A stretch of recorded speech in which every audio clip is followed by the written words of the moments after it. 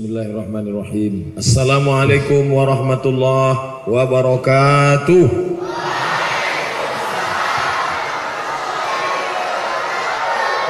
Bersyukur kepada Allah dengan mengucapkan Alhamdulillahi Rabbil Alamin Berselawat kepada Rasulullah dengan ucapan Allahumma Salli ala Sayyidina Muhammad Wa ala ali Sayyidina Muhammad Yang sama-sama kita hormati Ketua Pimpinan Yayasan kita Bapak Haji Raja Marjohan Yang tadi memberikan kata sambutan. Beliau pernah menjadi kepala dinas pernah menjadi asisten gubernur Riau dan sampai hari ini beliau masih mengabdikan mengkontribusikan pikirannya akalnya untuk pendidikan agama Islam. Mudah-mudahan selalu diberikan kesehatan sehat walafiat insyaallah dan di samping beliau ada Bapak mantan Bupati Rokan Hulu Dr. Andes Haji Ahmad MSI yang membangun masjid di Pasir Pengarayan tinggi menaranya 99 meter. Siapa yang tak percaya pergi ke sana ukur sendiri. Siapa yang naik ke atas di atas menara itu bisa melihat rumahnya di Pekanbaru. Ada orang ngasih tahu, Ustaz Somad, kalau naik ke atas menara bisa Ustaz nampak rumah Ustaz di Pekanbaru. Saya pun naik ke atas, saya tengok tak nampak. Kata bapak bisa. Kenapa tak nampak? Menengoknya dengan mata hati. Kena awak.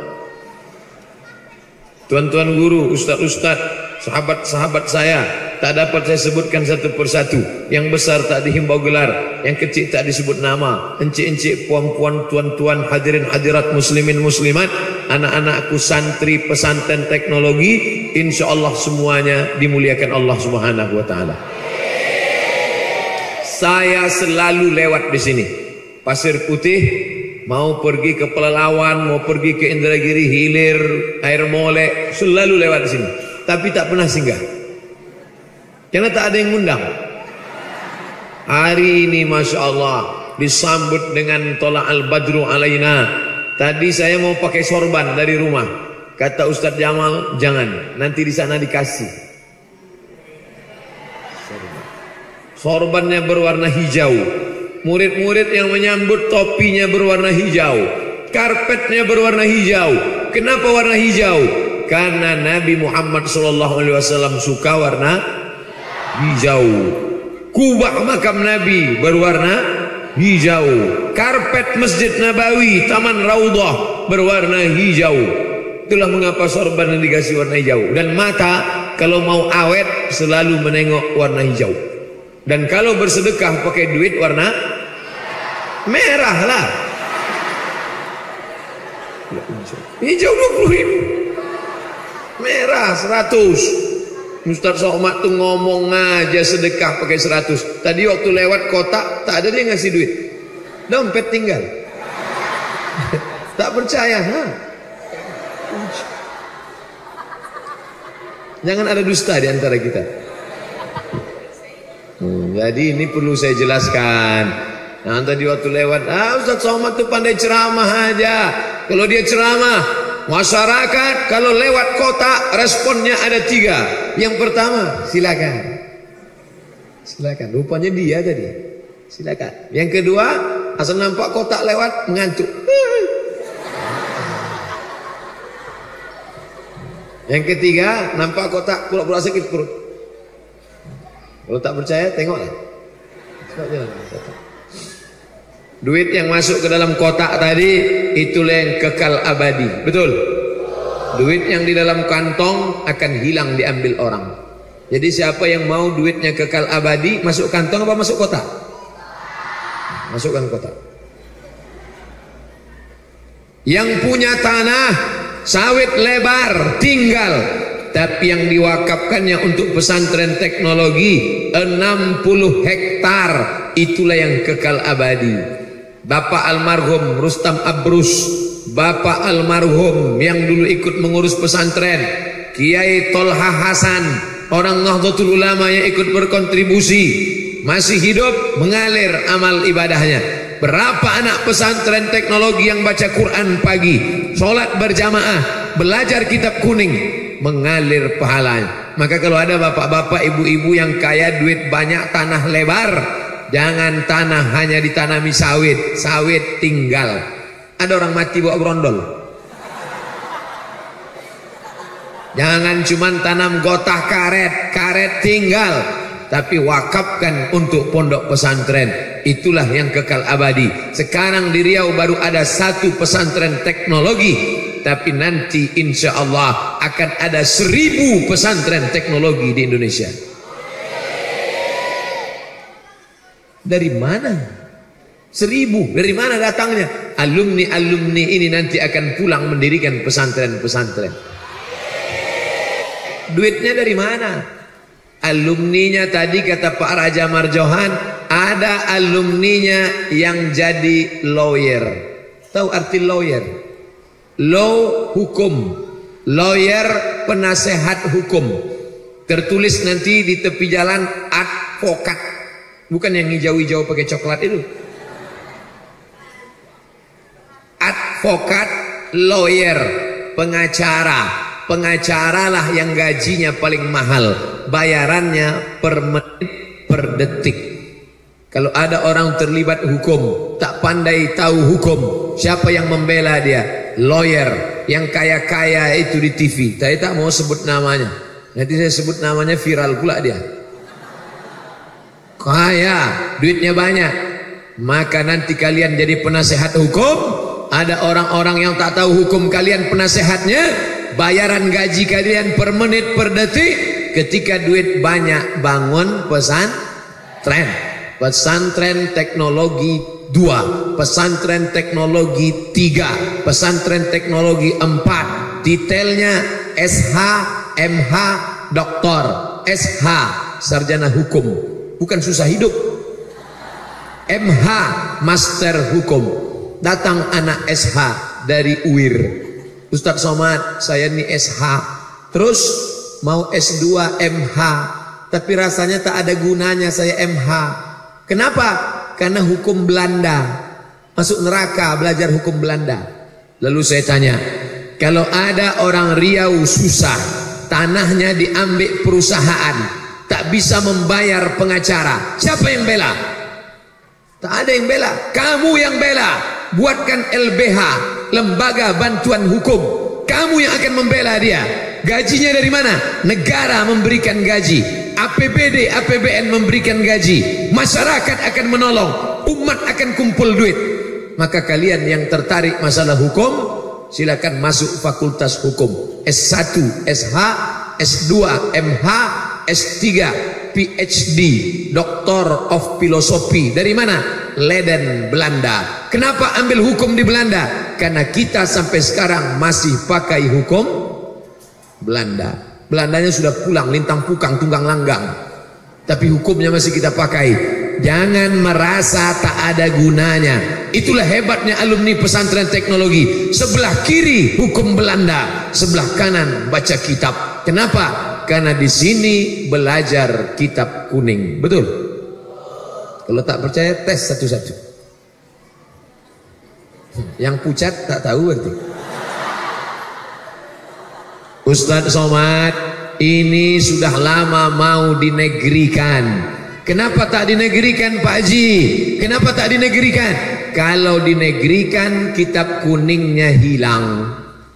Kok bisa hilang kitab kuningnya kalau negeri? Karena tidak ada guru negeri yang mengajar kitab kuning guru fisika PNS, guru kimia PNS, guru matematika PNS, guru bahasa Inggris PNS, tapi guru kitab kuning honorer. Padahal negara ini merdeka karena kiai, karena ulama, karena pesantren. Mudah-mudahan pemimpin kita di masa akan datang bisa mengangkat guru kitab kuning jadi pegawai negeri insyaallah.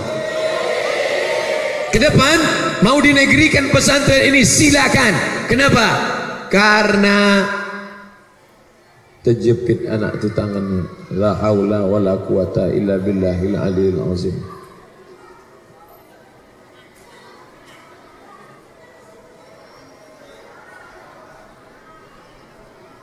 Lah, jaga anak ayo.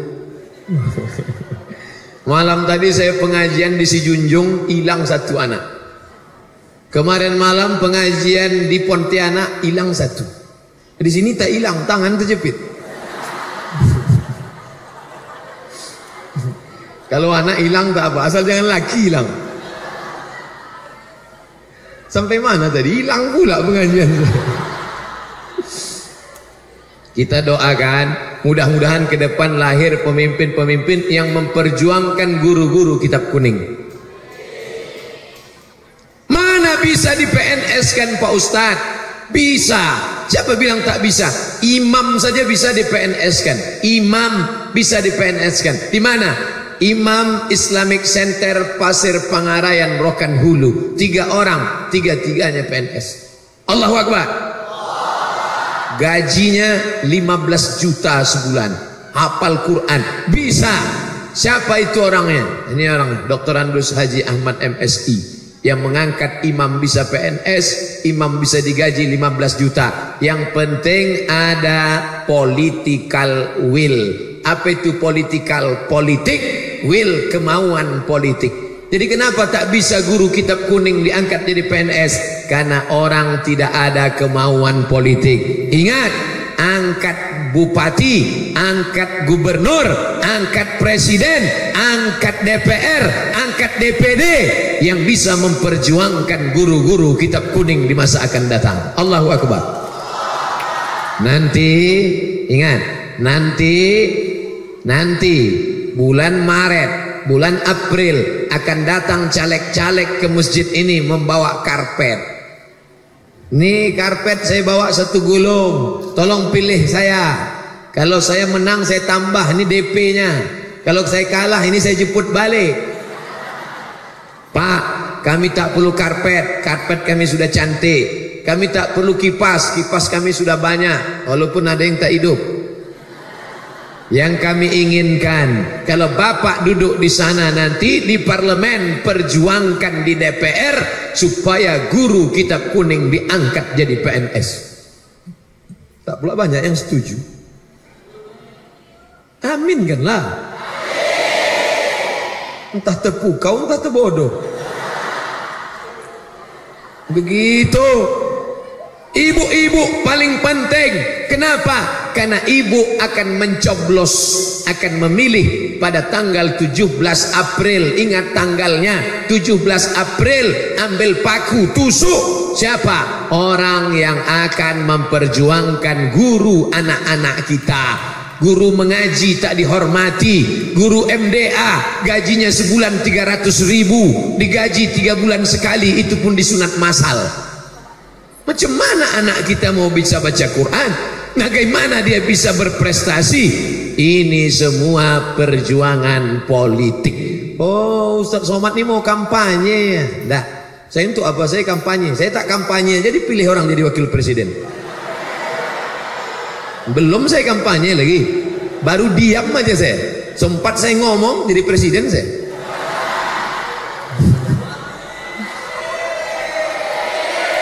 Jangan takut. Hai kalian yang takut saya kampanye, jangan takut. Saya sampai mati jadi ustaz. Jangan kalian takut saya jadi saingan. Kalian tak mau. Kalau mau udah lama jadi. Tapi anak-anakku nanti akan bangkit memperjuangkan. Ada di antara mereka jadi lawyer, jadi penasehat hukum. Tapi duit kalian jangan kalian belikan mobil mewah. Mobil mewah akan tinggal nak kalian ikut-ikutan beli mobil mewah. Mobil mewah paling mahal sekarang sedan Ferrari Lamborghini. Harganya 5 miliar, pintunya dua. Ternyata mobil ini makin sedikit pintunya makin mahal. Tahun 2020 ada mobil tak berpintu sama sekali. Masuknya melompat aja dari atas. Macam truk sawit. Tinggal ada orang mati bawa mobil. Tinggal mobil cukup satu tapi duit kau yang banyak bangun pesantren, sekolahkan anak yatim. Lawyer-lawyer, pengacara termahal, terpopuler, terkenal. Pulang kau ke pesantren teknologi, datang kalian kemari, tanya Pak Kepala Pesantren, Pak Ketua Pesantren, Pak Ketua Yayasan, Pak Kepala Sekolah, mana adik-adikku yang belum bayar uang sekolah? Berapa yang belum bayar uang sekolah? Ada 50 orang. Berapa guru yang belum digaji? Ada, ini daftarnya. Kau mau nolong? Enggak, mau nengok aja. Tolonglah. Itulah yang akan menolong engkau di hadapan Allah Subhanahu wa taala. Dr. Andus Haji Raja Marjohan Yusuf, Ketua Yayasan Ummatan Wasaton. Apa arti Wasaton? Tengah. Real Madrid, Barcelona. Maka di tengah itu mesti ada orang yang di tengah itu namanya wasit. Wasit itu diambil dari kata wasaton. Mengapa yayasan ini disebut yayasan ummatan wasaton? Karena sekarang ada umat yang eka dan eki. Eka ekstrim kanan, eki ekstrim kiri. Eka ekstrim kanan. Dia berbeda dengan agamamu, dia tak seagama dengan engkau, hancurkan rumahnya, belah kepalanya, larikan motornya, bawa bininya. Ini ekstrim kanan. Sedangkan ekstrim kiri liberal, sekuler, semua agama benar. Cap gome silakan. Natal jinggebel jinggebel silakan. Makan babi silakan. Makan anjing silakan. Sedangkan kalian adalah wasit ummatan wasata. Bertetangga dengan Kristen boleh. Berkawan dengan Konghucu boleh acara anaknya nikah datang. Boleh tapi makan di sana? Boleh. Ada tertulis Muslim food makanan Islam. Lontong sayur ayam penyet makan. Tapi di sini non Muslim food makanan tak Islam. Singgah pula dia ke situ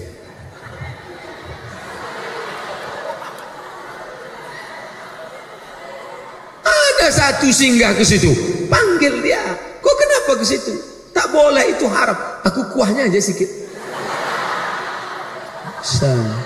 Datang anak pesantren dari Yayasan Ummatan Wasatan, dia pertengahan. Nabi Isa, kata Nasrani Nabi Isa itu anak Tuhan. Nabi Isa itu kata dia anak Tuhan.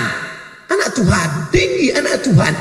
Kata Yahudi Nabi Isa anak zina karena Maria bercinta dan berzina, berselingkuh dengan si Joseph tukang kayu. Yahudi mengatakan Isa anak zina, jatuh serendah-rendahnya. Nasrani mengatakan Isa anak Tuhan, setinggi-tingginya. Islam mengatakan dia pertengahan. Dia bukan anak zina, dia bukan anak Tuhan, tapi dia adalah Isa nabi utusan Allah Subhanahu wa taala. Jadi nanti kalian kalau ditanya apa nama yayasan tempat kalian sekolah? Yayasan Ummatan Wasaton. Artinya apa? Pokoknya gitulah usah tanya-tanya. Wasaton itu artinya pertengahan. Bahasa kerennya moderat. Moderat bukan mudorot.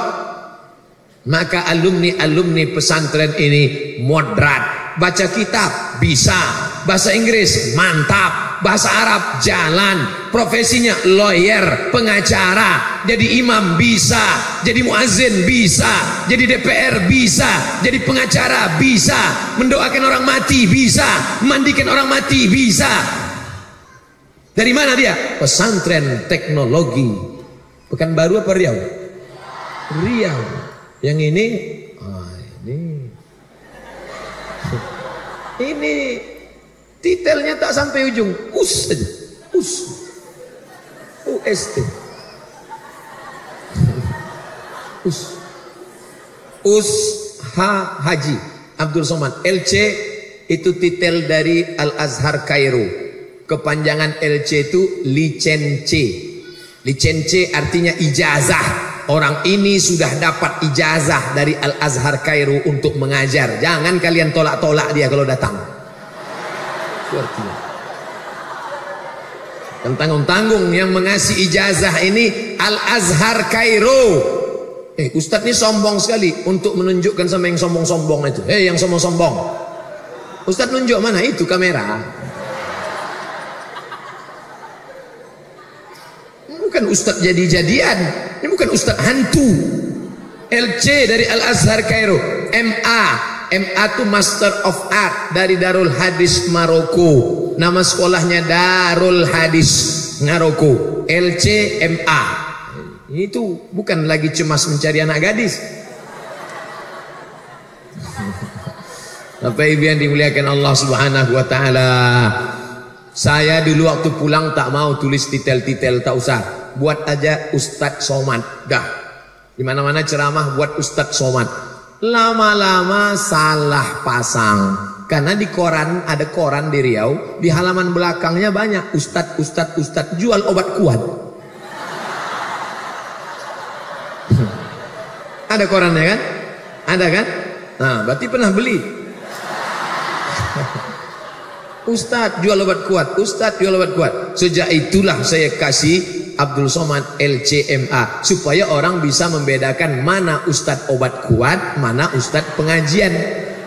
Soalnya ada pernah ada sekolah nelpon saya. Assalamualaikum. Waalaikumsalam. Betul ini Ustadz Somad? Betul. Saya disuruh kepala sekolah untuk nelpon Ustadz. Ada apa? Kami mau pakai Ustadz jam 9. Bisa? Mau dipakainya saya jam 9. Emang saya lelaki panggilan. Simatupang, siang malam tunggu panggilan. Mohon maaf Pak Simatupang, jangan tersinggung. Bapak Ibu yang dimuliakan Allah Subhanahu wa taala. Apa kata Pak Raja Marjohan tadi? Anak kami ada yang jadi lawyer. Masih ingat apa kata beliau tadi? Anak kami ada yang jadi dok. Kira-kira mana yang bermanfaat? Mana yang banyak duitnya? Ustadz apa dokter? Jangan jawab. Saya kalian sebut ustadz karena ingin menyenangkan hati saya saja. Ada tukang, tukang gagang martelnya dari rotan besar, martelnya dari palu kayu besi besar, bekerja dari pagi sampai petang. Allah pang, Allah pang, Allah pang. Satu hari gajinya 50 ribu. Dokter martilnya kecil. Dokter martilnya kecil. Pukulnya lutut 7 juta setengah.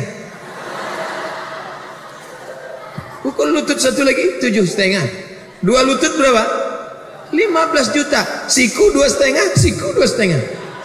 20 juta. Patutlah anak-anak kalau ditanya mau jadi apa?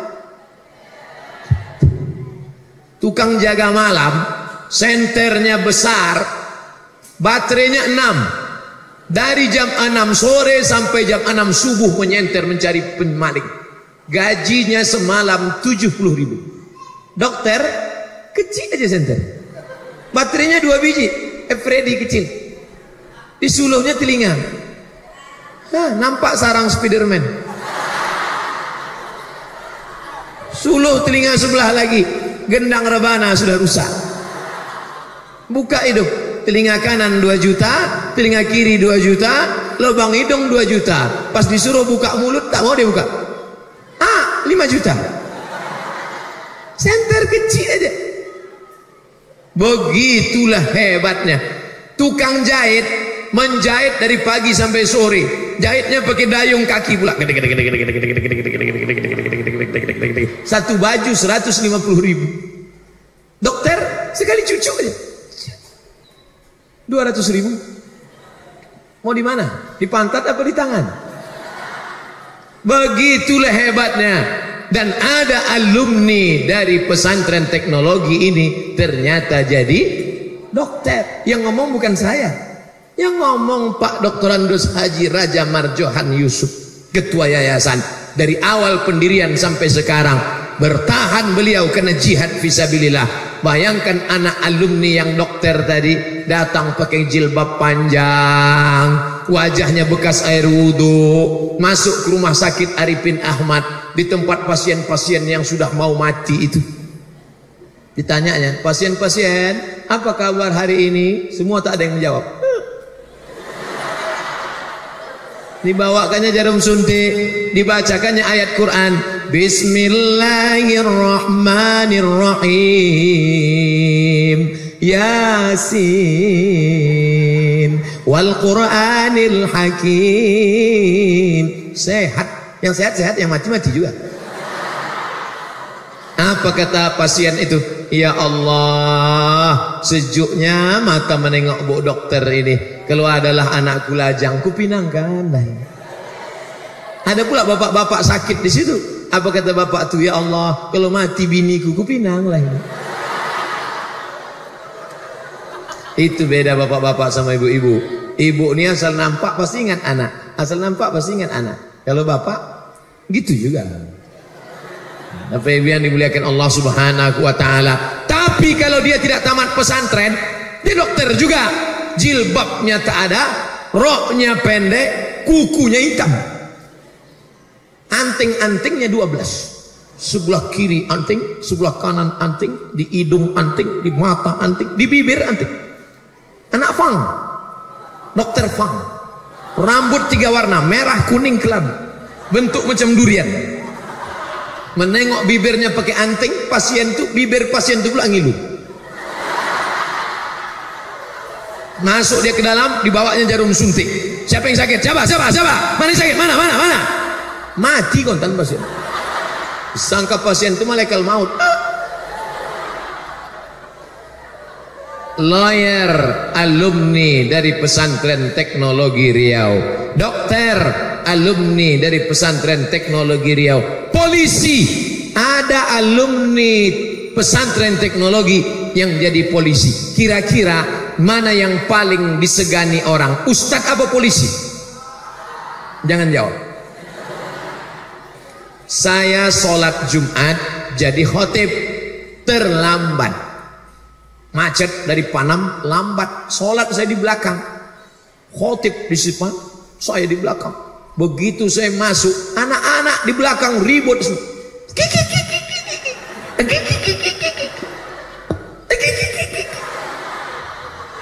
saya tengok bukan dia takut sama saya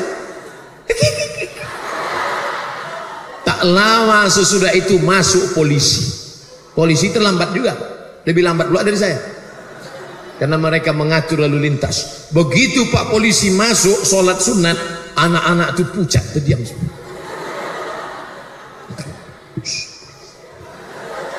Kira-kira mana yang lebih efektif dakwahnya, Ustadz apa polisi? Polisi dah. Kenapa anak-anak itu takut sama polisi? Karena pistolnya besi. Walaupun pelornya tinggal di rumah. Maka alumni dari pesantren teknologi yang jadi polisi silakan, yang jadi lawyer silakan, yang jadi dokter silakan, jadi polisi yang bisa baca kitab kuning. Kalau ada masalah di masjid, dia yang akan menyelesaikan masalah. Bekelahi orang di masjid gara-gara zikir jahar dengan zikir tak jahar. Yang satu imamnya zikir jahar, subhanallah, subhanallah, subhanallah, subhanallah. Yang satu imamnya? Namanya zikir silent. Buklai buklai. Yang satu mengatakan zikir mesti kuat. Yang satu mengatakan jangan kuat-kuat. Masuklah polisi yang alumni dari pesantren teknologi tadi. What can I do for you jadi sini bahasa Inggris dibawanya kitab kuning apa masalah kalian ini Pak Ustadz ini Pak polisi bingung mereka polisi apa Ustadz nih Masalah kami ini kelahi antara zikir jahar dan zikir sir. Zikir jahar dalilnya hadis riwayat Abdullah bin Abbas. Ketika Nabi dan para sahabat berzikir di dalam, Abdullah bin Abbas mendengar suara dari luar. Maka ada dalilnya. Yang zikir sir dalilnya juga ada. Wadhkur rabbaka fi nafsika. Sebutlah Tuhanmu dalam dirimu, jangan kuat-kuat. Yang zikir jahar silakan, yang zikir sir silakan. Antara kalian yang berzikir sudah mantap, lanjutkan kalau kalian yang berzikir jahar dengan zikir sir kelahi bertinju berkelahi di masjid yang ketawa yang main gaplek di luar akhirnya damai orang di masjid kenapa? karena polisinya bisa baca kitab kuning. Dari mana? alumni pesantren teknologi. Jadi kalian jangan berpikir ngapain sekolah di pesantren? Paling-paling jadi ustad paling-paling jadi imam terawih. Kalian bisa jadi apa pun. Semua alumni ini bisa jadi imam. Makmumnya siapa? istrinya di belakang.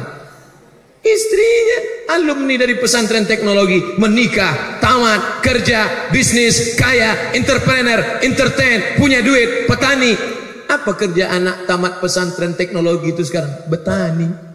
Petani. Hmm. Tak ada duit. Apa ditanamnya? Sawit. La ilaha illallah. Paling ngutip-ngutip sawit sekarang mendodos. Kau tamat dari pesantren teknologi? Iya pak. Apa kerja sekarang? Nanam sawit. Berapa hektar? Ya sejauh mata memandang. Kau nanam apa? Saya nanam karet pak, gotah karet. Berapa hektar? Ya cukuplah untuk 70 keturunan. Siapa yang tak terpukau? Oleh sebab itu maka di sini tempat kalian belajar. Nanti tahun 2000 pertama saya ceramah kemari 2018. Nanti 2028 saya diundang lagi kemari tapi bukan di depan santri, di depan alumni-alumni pesantren teknologi. Tempatnya tak di sini, kita buat di luar. Begitu saya sedang ceramah, tiba-tiba turun helikopter. Siapa itu? Menteri. Menteri apa? Menteri Kelautan. Kenapa dia naik helikopter? Iyalah, tak mungkin naik kapal laut mari. Dari mana dia? Alumni pesantren teknologi. Mungkin apa tak mungkin? Siapa bilang tak mungkin? Jadi menteri, di atas menteri aja bisa. Siapa bilang tak mungkin? Innama amruhu idza arada syai'an ayakula lahu kun. Beruntung betuah ibu-ibu yang sudah menyerahkan anaknya ke pesantren. Yang belum menyerahkan ke pesantren, daftarkan segera sebelum tanggal berikut ini. Tapi bu, kalau sudah menyerahkan anak ke pesantren, jangan melepasnya dengan air mata. Ini banyak ibu-ibu ini waktu, nak, mama pulang. Jangan lepas anak dengan semangat. Belajar kau di sini, aku ingin kau jadi orang, karena nanti kalau kau kau bawa keluar kau jadi antu. Belajar di sini. Belajar di sini. Kalau macam-macam, putus APBD, putus APBN, putus subsidi. Belajar sini. Nanti kalau mau nangis keluar dulu udah sampai sekijang ah berhenti. Ah, sampai sekijang udah tak nampak orang ah pergi ke tepi-tepi sawit. Jangan menangis depan anak. Ini ada ibu-ibu balik dari pesantren bongkak mata sebesar bakso. Ibu nangis kenapa? Nangis saya Pak Ustaz. Di rumah kasurnya tebal. Sampai ke pesantren saya tengok tipis. Bulan satu saya tengok tipis. Bulan dua saya datang lagi hilang. Entah digoreng orang tuh tadi gulainya. Lebih baik menangis sekarang melepas mereka di pesantren daripada menangis 20 tahun akan datang karena mereka pecandu narkoba. Betul? Lebih baik menangis sekarang melepas mereka di pesantren daripada 20 tahun akan datang menangis karena mereka menjadi pezina, menjadi homo, menjadi LGBT, menjadi penjahat, menjadi perampok, menjadi macam-macam. Selamat sekarang anak-anak satu pun tak ada yang megang HP. Eh, ada juga. Ustaz Somad, pesantren kami tak boleh megang HP. Ada juga. Di luar sana, dulu anak-anak kecil kalau salaman, salam Ustaz nak, salam Ustaz nak, salam Ustaz nak, salam Ustaz nak. Sekarang anak-anak disuruh salam Ustaz asik HP. Salam Ustaz nak, salam Ustaz nak. Salam Ustaz nak, salam. di fotonya pula Ustaz. Ustaz kok tahu pengalaman pribadi? Alhamdulillah di pesantren Tapi memang di pesantren ini ah, Ustadz pernah di pesantren? Pernah Tamat Pak Ustadz? Tak tamat saya Maka menyesal saya seumur hidup tak tamat pesantren Sampai di Mesir Barulah tahu Anak Gontor mantap Anak Purba Mustafawiyah mantap Anak Darussalam Batu Besurat mantap Anak Darun Nahdoh Bangkinang mantap. Ustadz Somad tak mantap. Sampai ke lokal, masuk ke Al-Azhar, nampak tuan-tuan syekh dari Al-Azhar pakai sorban besar pakai jubah dua lapis janggutnya panjang hidungnya mancung. Assalamualaikum warahmatullahi wabarakatuh. Kata dia di lokal. Waalaikumsalam. Fi hadhihi al-munasabati as-sa'idati natakallam an qadaya falastiniyah fa inna amaliyat as-salam fi syarqil al-awsat lan tatahaqqaq illa bin sahab al-isra'iliyyin min al-aradi al-muqaddasah mengangu kan? Gara-gara apa gara-gara tidak tamat pesan tren telinga tak terbiasa mendengar bahasa Arab Ustaz Somad di mana? Saya tamat madrasah aliyah swasta. Tidak pesantren. Beruntung betuah kalian tamat pesantren. Begitu mendengar Tuan Syekh bicara, tak faham. Baca pula bukunya. Arab gundul, berkunang-kunang. Di sini kalian baca kitab kuning, paham kitab fikih, belajar balaghah, ma'ani, mantik, bayan, arud qawafi, taujwid, ulumul Quran, ulumul hadis, mustalah hadis, rijalul hadis, hadis tahlili, hadis maudhu'i. Apalagi banyaklah pokoknya. Maka kepala kalian diisi di sini. Jangan lawan guru, jangan lawan ustadz, jangan memusuhi waktu, berkompromi dengan keadaan. Itu yang akan membuat kalian selamat dunia dan akhirat nanti insyaallah. Amin. Ustadz dulu gimana di pesantren? Pernah saya di pesantren, tapi karena saya tak ikut peraturan, tidak ikut, akhirnya itulah. Akhirnya itulah. Kalau mungkin saya pesantren, mungkin saya sudah macam doktor Mustafa Umar. Seandainya saya dulu di pesantren, mungkin saya sudah macam doktor Mawardi Muhammad Saleh. Kalau mungkin saya dulu di pesantren, mungkin saya sudah macam doktor Saidul Amin. Tapi karena saya tak tamat pesantren, tinggal lagi us Itu gara-gara tak tamat pesantren. Coba kalau saya tamat pesantren, pasti tertulis itu Doktor Abdul Somad. Ini enggak, us. Jangan kalian jadi us. Selanjutkan, gantungkan cita-citamu setinggi bintang di langit. Tapi kaki kalian harus injak ke bumi. Karena kalau kaki kalian tergantung, itu namanya hantu.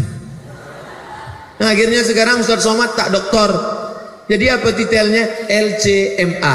Lagi cemas menghadapi anak-anak. Lagi cemas menghadapi ama-ama. Lagi cemas menghadapi apa-apa. Jadi banyak arti LCMA itu.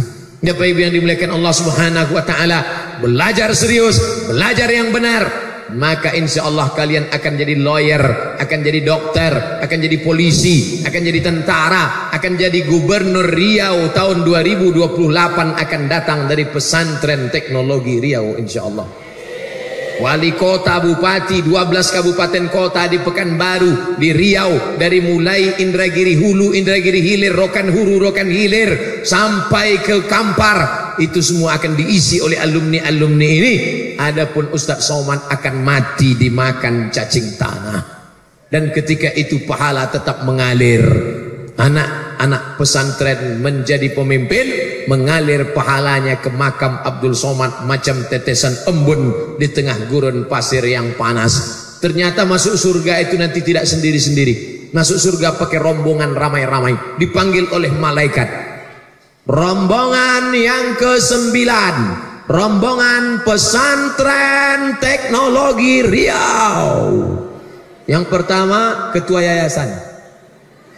Habis itu ustad-ustad habis itu santri-santri, habis itu wali murid, habis itu security hansip satpam.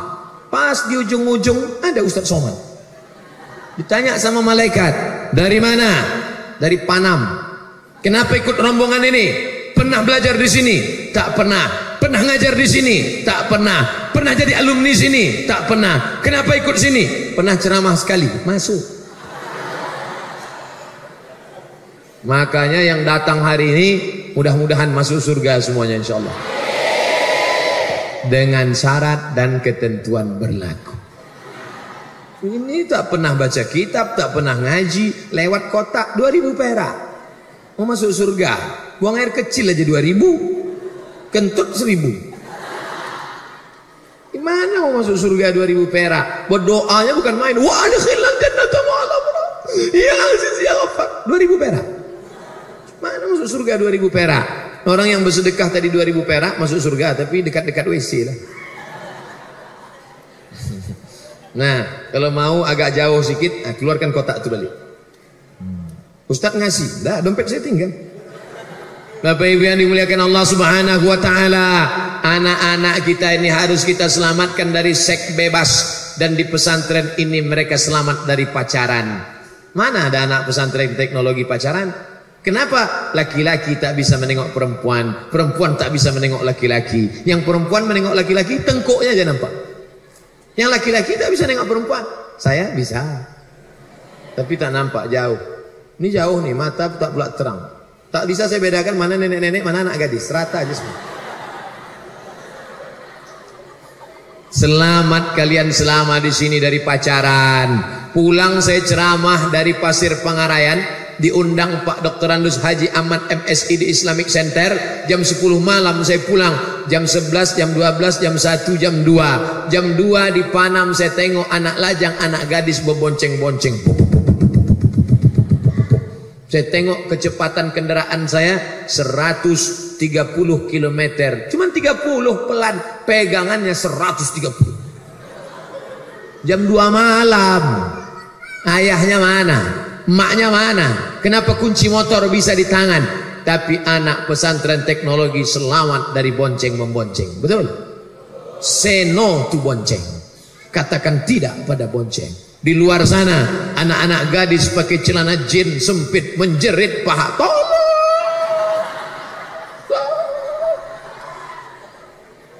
Banyak tukang ayam di pasar pagi Arengka salah potong. Gara-gara menengok ibu-ibu pakai celana sempit. Mengangu dia. Banyak atuk-atuk masuk paret gara-gara anak gadis pakai celana sempit. Tapi di pesantren teknologi, cobalah tengok, jilbabnya panjang. Ada anak pesantren teknologi Riau pakai celana jeans. Mana ada? Di luar sana, anak SMP diganggu jin, anak SMA diganggu jin. Anak SMP diganggu jin, dibacakan ayat kursi. Allahu la ilaha illa huwal hayyul qayyum, la ta'khudhuhu sinatu wa la naum. Ketawa jinnya. Hai jin, kenapa kau ganggu anak SMP ini? Kenapa? Apa kata jinnya? Karena celana kami dipakainya. Pakainya celana jin. Mengamuklah jin-jin tu. Tapi pesantren teknologi, coba tengok, jilbabnya panjang. Di luar sana, mereka pakai jilbab juga, tapi jilbabnya pendek. Jilbab, pakai jilbab, tapi rambut di depan keluar. Nah. Keluar.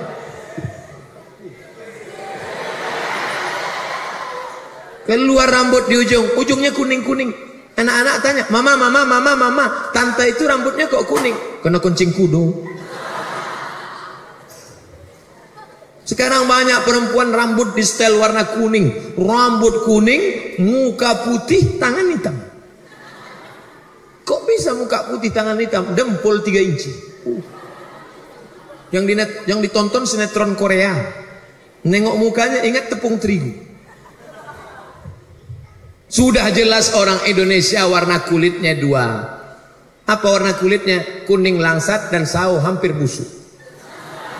Yang ditonton sinetron Korea, India, Turki, abad kejayaan, macam mana yang ditengok itu? Engkau cantik bukan karena bedakmu, engkau cantik bukan karena lipstikmu, tapi karena bekas air wudukmu tahajud tadi malam.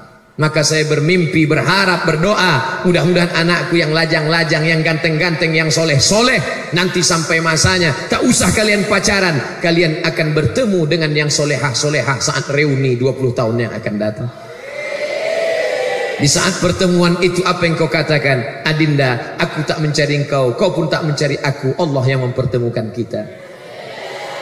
Jawabannya bukan Noe, so sweet. Begitu. Yang menikahkannya siapa? Pak Kua. Yang jadi penasehat pernikahannya siapa? Saya diundang nasihat pernikahan alumni pesantren teknologi Riau. Berikut ini mari kita dengarkan nasihat pernikahan akan disampaikan Al-Mukarram Haji Abdul Somad LCMA. Saya ceramah. Assalamualaikum. Udah tua waktu itu. Suara udah tak bisa lagi. Mau digas. Assalamualaikum. Assalamualaikum warahmatullahi wabarakatuh. pada kesempatan pernikahan anak kami ini aku amat sangat berbangga. Di hari tuaku sudah 70 tahun. Kalian tetap mengingat aku untuk menasihati pernikahan kalian. Jadilah kalian menjadi tunangan pernikahan pasangan yang soleh dan soleha. Akan lahir anak-anak yang soleh soleha menjadi pemimpin masa depan mereka pun mendengarkan nasihat Ustaz sampai waktu di tengah malam si suami membangunkan istrinya untuk tahajud malam bangun itu kalau nikahnya udah 20 tahun. Tapi kalau yang baru-baru nikah itu wake up my darling. Wake up my honey. Dibentangkannya saja ada apa judul kita malam ini akhi? Di bawah mihrab cinta. Majulah anak dari alumni pesantren teknologi Riau bacaan Qurannya mantap. Usolli sunnat tahajud rakaataini imaman lillahi taala. Allah Allahu Akbar. Bismillahirrahmanirrahim. Ar-Rahman. Allamal Quran. Menyesal ibu-ibu yang sudah 20 tahun nikah tak pernah bertahajud bersama suaminya. Tengah malam ibu bangun laki Ustaz, sudah 20 tahun kami menikah tak pernah diajaknya tahajud Pak Ustaz. Pagi-pagi saya malah mengambil air. Bangun bang.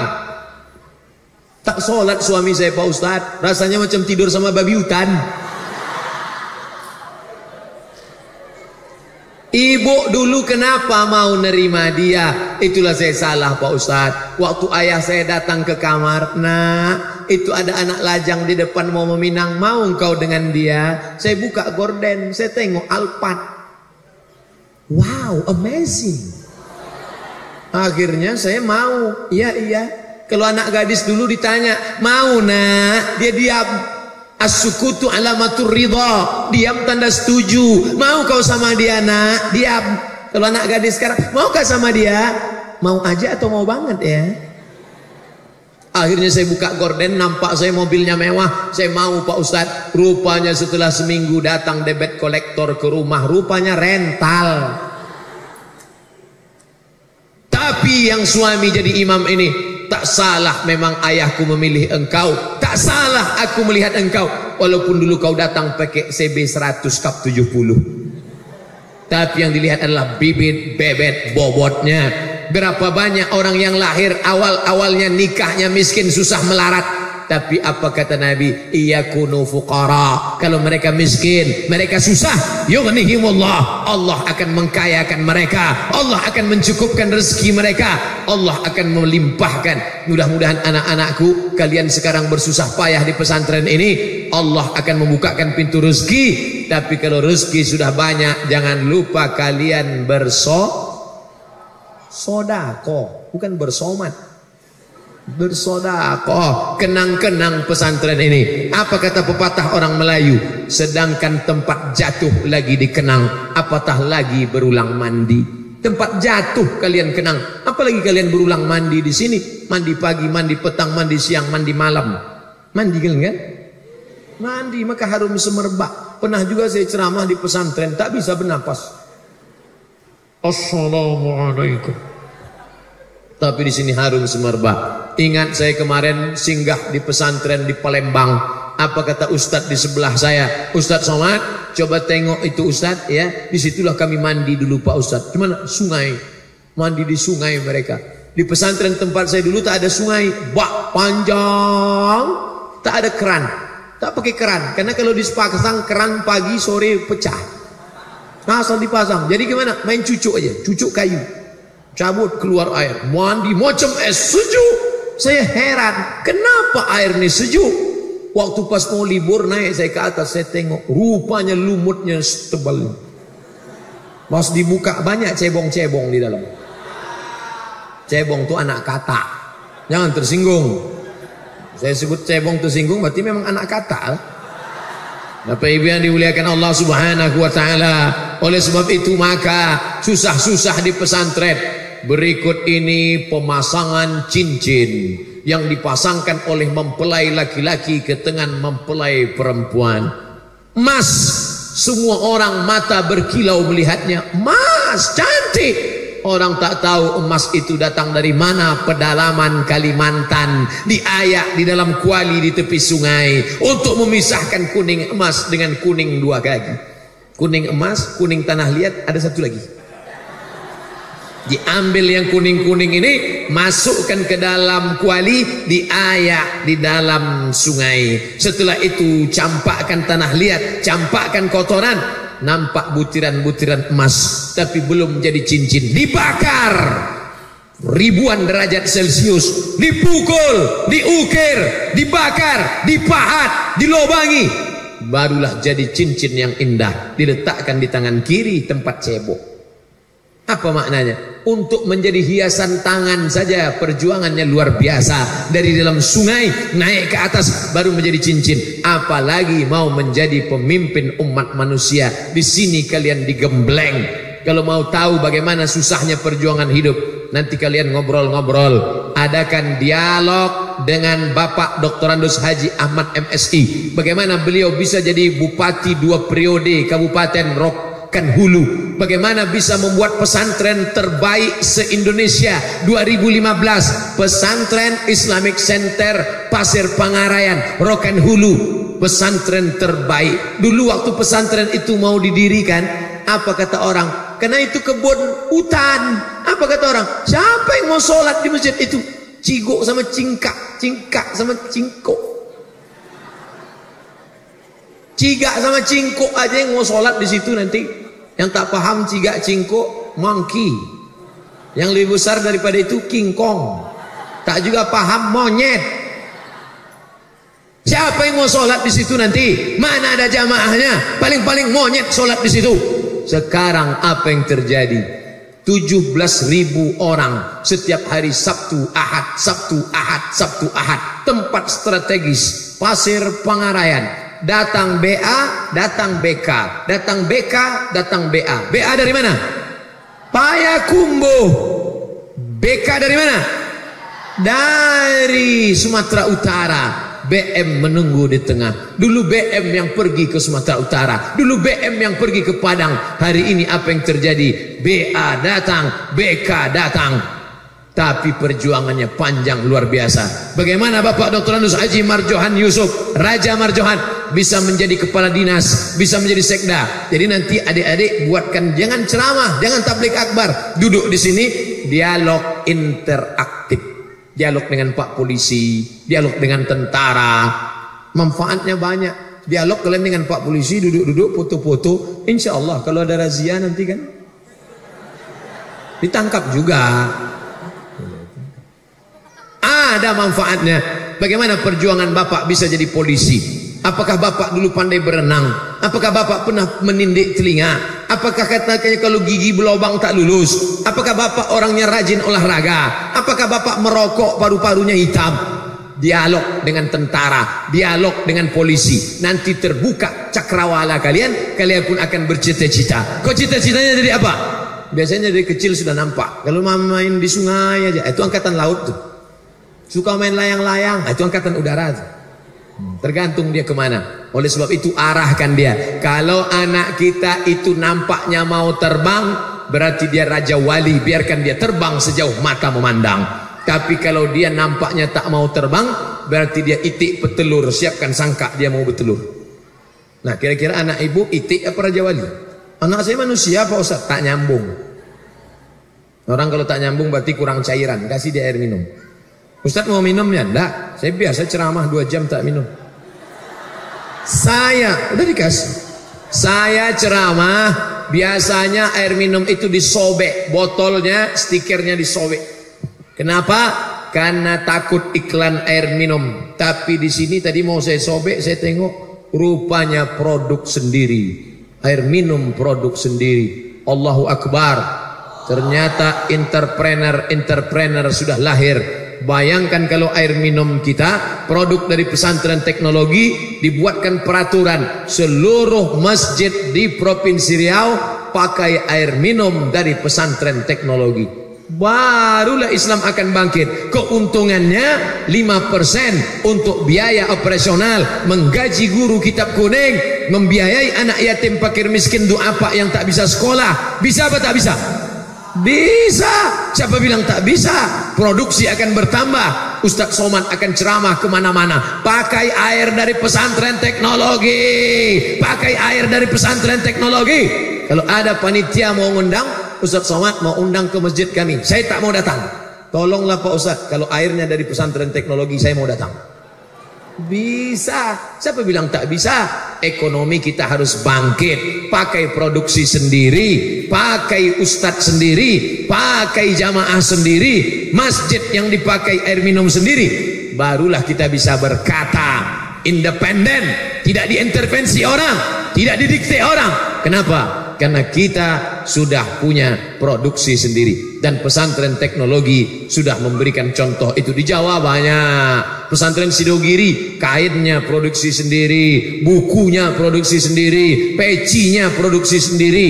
Kita masih pakai orang lain punya. Masih ada usaha untuk berbakti kepada negeri dengan memproduksi barang-barang ini bagus sekali. Bapak Ibu yang dimuliakan Allah Subhanahu wa taala, di mana-mana saya ceramah 60 menit sesuai yang tertulis di botol 600 ml. Nampaknya waktu sudah habis. Pertanyaan, kalau ada kertas saya jawab, kalau tak ada kita langsung doa. Dan kabar gembira, siang ini akan ada makan bersama, makan siang di rumah masing-masing.